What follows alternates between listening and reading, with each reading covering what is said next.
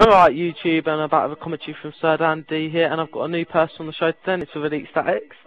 And today it's on the map Buried, and I'm in the courtroom, um, courthouse, sorry, and today I'll be showing you a steam glitch. So first of all, I'm going to be the first person to show you where to put the steam. It is by the workbench and the banister, so you see I need to place it exactly where you can see on the screen, and this is here.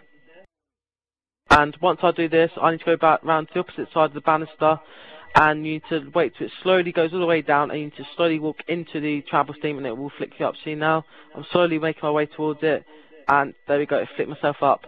And very importantly, you need to remember here not to pick up the trample steam, the glitch isn't over yet and you need to flick yourself again.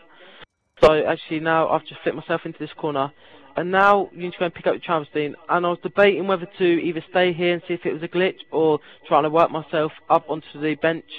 So what I need to do now is um, also look into the top left hand corner where the light is you see in a minute. But while we're waiting now to let me see to move on to the glitch, can you all go and take a look at the rest of the content on the YouTube? That'd be much appreciated.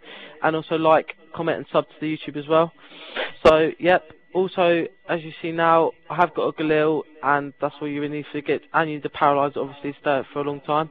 But as you see there, quickly, I've just put the trample steam down right where I've there and you need to wait till it flicks you up. So actually, I've been put onto the workbench, and you've been now in this good glitch and get to high rounds. Um, they will power up, and it will be hard to see him, but you will be able to kill him easily. Just shoot through the Trample Steam.